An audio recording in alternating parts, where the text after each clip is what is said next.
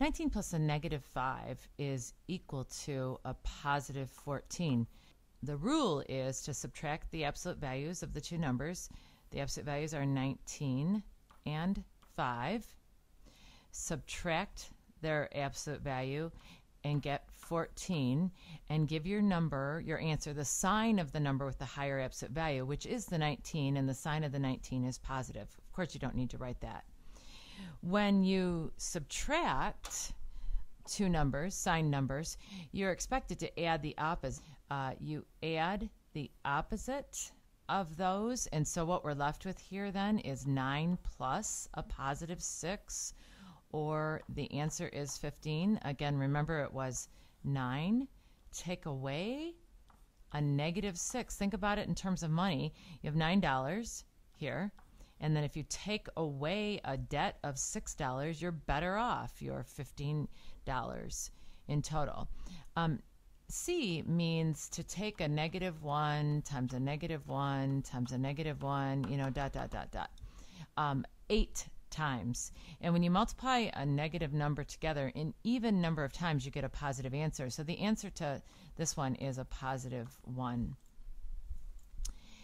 On the other hand, a negative 7 part D to the second power does not mean, I'm going to erase this in a minute, it does not mean take a negative 7 and square it and get a positive 49. Instead, what it means is um, think of this negative sign right here is my asking for the opposite of whatever 7 squared is. Well, 7 squared is 49. And the opposite of 49 is a negative 49. So be careful. D, its answer is a negative 49. If I was looking for an answer of a positive 49, I would have to put that negative 7 in parentheses. Then that would mean a negative 7 times a negative 7, which is a positive 49. So be careful with D. When you multiply two fractions together, what I tend to do in part E is is I will look at the signs first. So I have a negative times a positive, and I know that's going to be a negative answer. So I'll take care of that first. Then you can either multiply straight across and get 6 in the numerator over whatever 14 times 5 is in the denominator. That's a lot of work because then you haven't reduced it um, efficiently. Instead, I'd like to say that 3 goes into the number 3 once and goes into the number 15 five times. And likewise, 2 goes into 2 once and into 14 seven times. And what I have now is I have to multiply these together. So in the numerator, 1 times 1 is 1. And in the denominator, 7 times 5 is 35. The answer to this problem is a negative 35.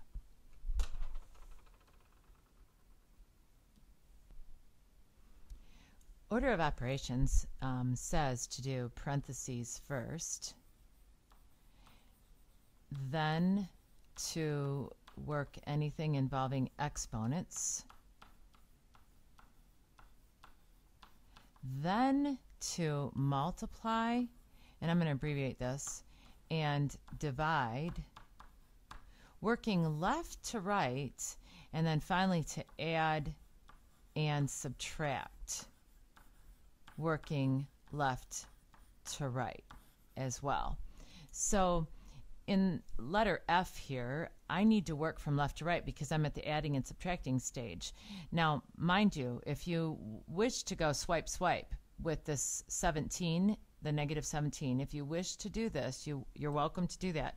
I think I'm going to I'm going to take that away if I can, and I'm just going to work left to right, and I'm going to take the 40 minus 17 first and get a positive 23 and then I would have to add 4 next, and then take away the 10. I'm being awfully careful to work from left to right. And 23 plus 4 is 27. And then finally, when I take away 10, I get a final solution of 17. In G here, I should write down or, and state for myself what the absolute value of a negative 17 is and that is just a positive 17, and get rid of the absolute value bracket.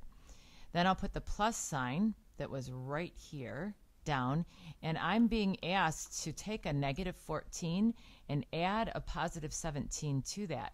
The difference in their absolute values is 3. And the 17 has more pull, so the answer to that problem is a positive 3. When I'm adding and subtracting mixed fractions, I tend to turn these into improper fractions. I find it to be easier, so there's no borrowing and carrying.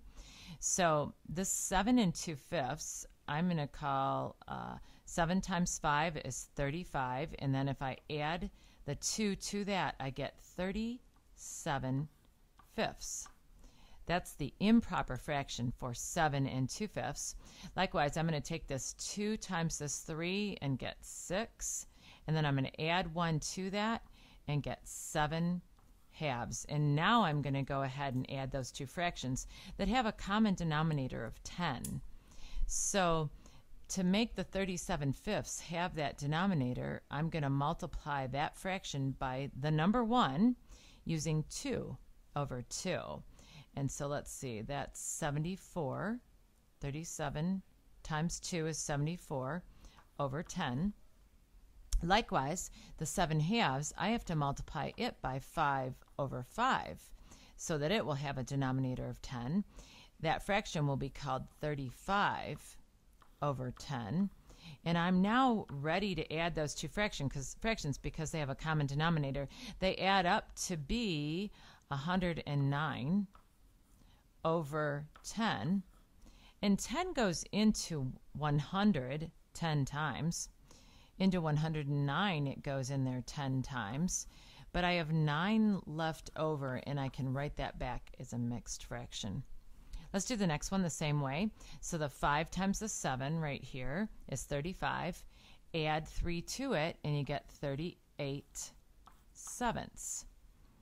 Right here, the 2 times the 5 is 10 add 2 to that, and you get 12 fifths. So my common denominator is 35.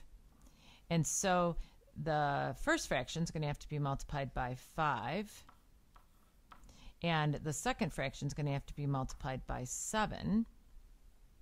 In the first fraction, when I multiply 38 times 5, I'm doing this in my head, so I think that's 190 over 35. And then the 12 times 7 is 84 over 35.